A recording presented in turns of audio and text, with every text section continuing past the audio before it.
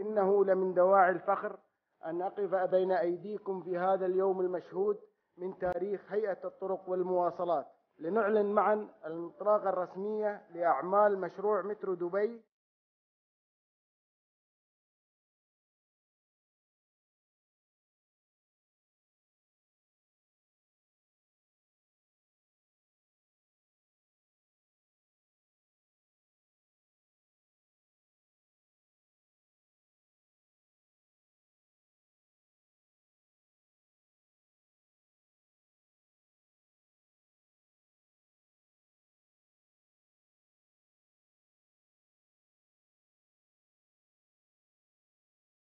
صاحب السمو الشيخ محمد بن راشد آل مكتوم نائب رئيس الدولة رئيس مجلس الوزراء حاكم دبي مشكورا بوضع حجر الأساس لمترو دبي.